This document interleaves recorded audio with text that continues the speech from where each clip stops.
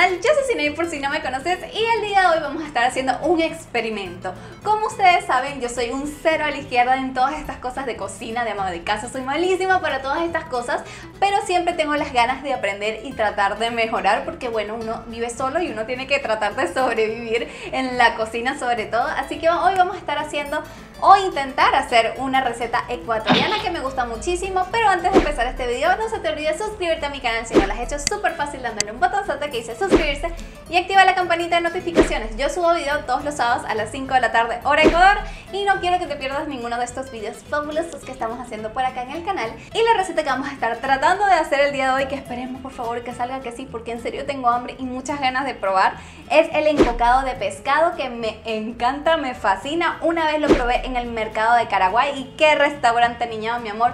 El mercado de Caraguay hay unas señoras que venden una comida deliciosa, así que lo voy a intentar hacer a ver qué tal. Ustedes déjenme acá abajo un comentario antes de empezar este video, no hagan trampa, a ver qué ustedes qué opinan. ¿Me salió o no me salió?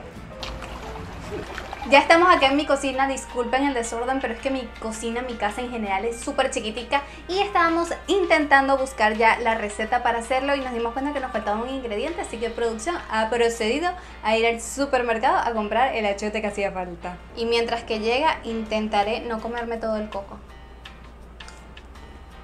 Este sol, explícame tú. Y yo vestida de blanco. Ahora sí parezco Gasparín. Lo peor es que en Nantes, o sea, hace como que media hora está nublado. no hay manera de esconder este sol. Pues si pongo, si pongo la persiana, entonces me veo como una cebra. Bueno, y aquí Ok, luego de millones de cortes técnicos ya estamos aquí para hacer la receta. Tuve que poner acá una luz artificial, cerrar las persianas porque como les enseñé ahorita el sol estaba como que achicharrate, no hagas nada, entonces no iba a poder ser. Acá hice una lista de las cosas que vamos a necesitar, es achote, cebolla morada, pimentón, ajo, sal, pimienta, cilantro, tomate y leche coco. Había una receta que decía que tenías que echarle limón al pescado, pero producción está empeñado y decir que no, que eso no es así. Entonces, como para no pelear, no le vamos a echar el limón. Así que tenemos acá el pescado que nosotros compramos, se llama picudo, pero nos los dieron así fileteado. Mm, y todo el mundo lo pone en cubitos, así que yo espero que funcione así fileteado, porque en cubitos no me lo dieron.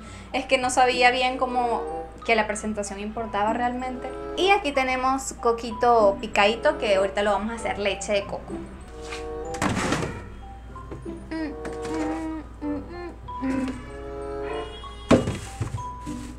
Aquí tenemos todos los ingredientes, ahora solo falta que se piquen mágicamente.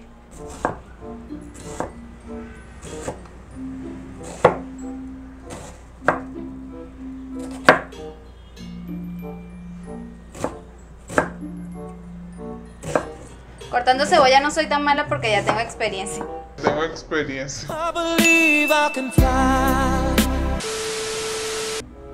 Juro que tengo experiencia.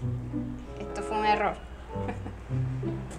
Lo malo de la cebolla que no importa cuánta práctica tenga, ya me está empezando a hacer llorar.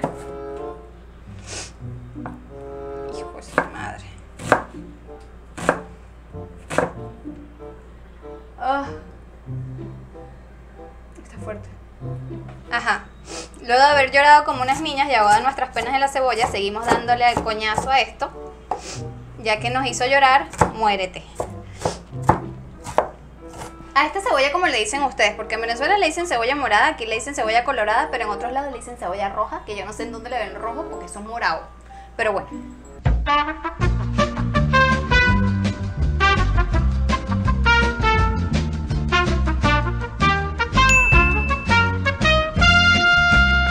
¡Éxito! Y mientras hacemos esta receta, aquí viene en camino el comensal que va a probar esta, esta desgracia que estoy haciendo yo él no sabe que estoy grabando este video. Es que yo los agarro así de improviso, porque si digo que estoy cocinando, no vienen, mi amor. Ellos ya saben. Entonces yo le echo este merjunje. Como que te lo estoy sobando. Te lo sobo todo. Bien sobado. Bien sobado. Todo el filete.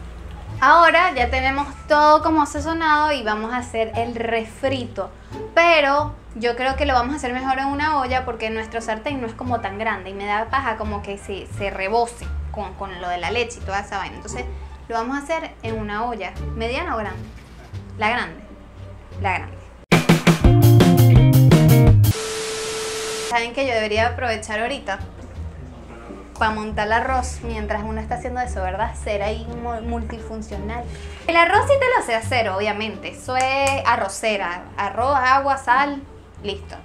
Como viene mi amigo Carlos y está producción y los ecuatorianos comen más arroz que un chino, hay que echar bastante. Con de. Ay no, caladilla. No te me pongas exquisito. Te estoy haciendo arroz. No, aprenderse la vaina bien. No. Vamos acá que se me está quemando este. Ajá, le vamos a echar a choto. Así, está bien.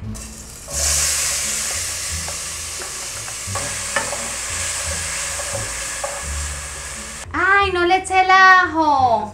Eso era antes. Está haciendo el sofrito ese.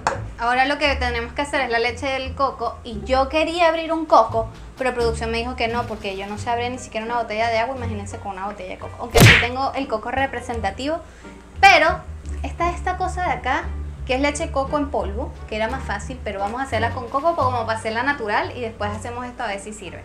Porque aquí dice para encocados. Hice piña colada, encocados, postres, helados y galletas. No es publicidad, páguenme por favor. Poner los trozos del coco con el agua, ¿no? Ay, chamo.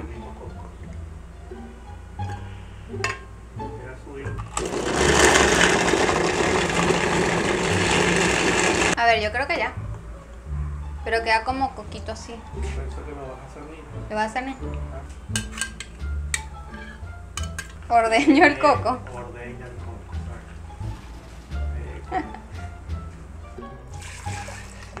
Pero yo siento que son muy poquitos.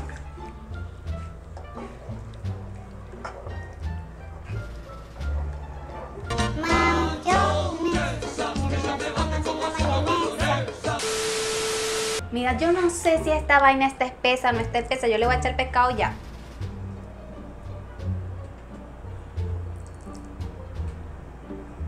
Pero no van a entrar todos así lisitos, ¿viste?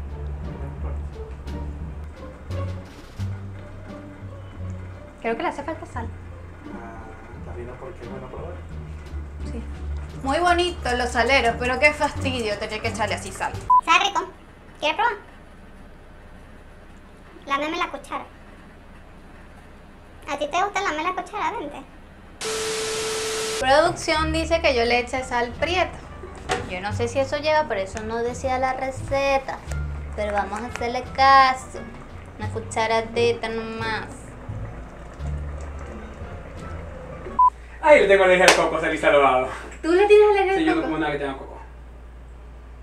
Menos mal que trajo su KFC porque le dije que iba a cocinar. Más vale prevenido que intoxicado. no, pero amiga. tienes que probar. Ya lo pruebo, pero.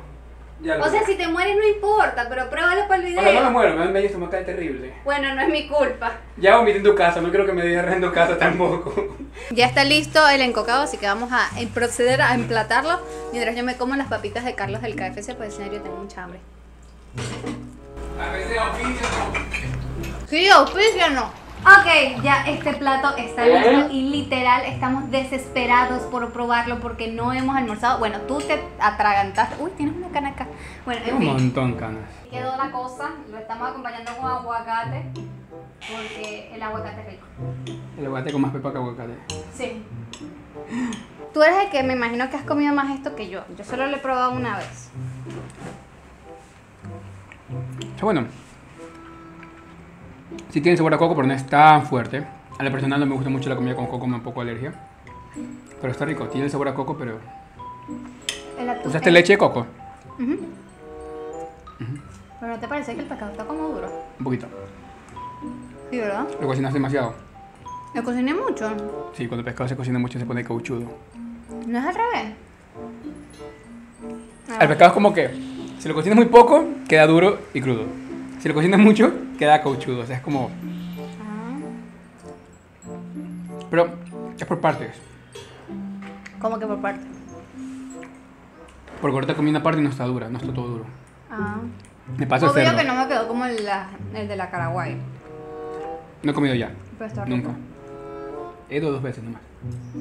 Porque eres aniñado. No soy niñado. Ujú. Amiga, eso queda de polo a polo. donde yo vivo. Aniñado. Aniñado ciudadela privada. Privada de todo, privada de tiendas, privado de centros comerciales, privado de bancos, de cajeros, de todo. Voy coronando. Ah, mira, aprendiste a hacer menestra de lenteja, pescado encocado, ya poquito a poco. poquito a poco. Cachapa. Ah, sí, lo hice cachapa. El otro día hice un pie de limón y quedó bien. Tengo, tengo futuro para ir a Masterchef, ¿ah? Y bueno chicos, este ha sido todo el video, espero que les gustara, dale like si te gustó este video, suscríbete a mi canal si no lo has hecho. Súper fácil dándole un botonzote que dice suscribirse y activa la campanita porque YouTube está loco y no te avisa cuando subo un nuevo video, aunque puntualmente a veces subo video todos los sábados a las 5 de la tarde hora Ecuador. Y dale muchos likes para saber que este video te gustó. Y también déjame acá abajo un comentario. Qué otra receta crees tú que debería estar intentando hacer y si te gustó este video. Te mando un beso enorme y nos vemos en un próximo video. ¡Chao!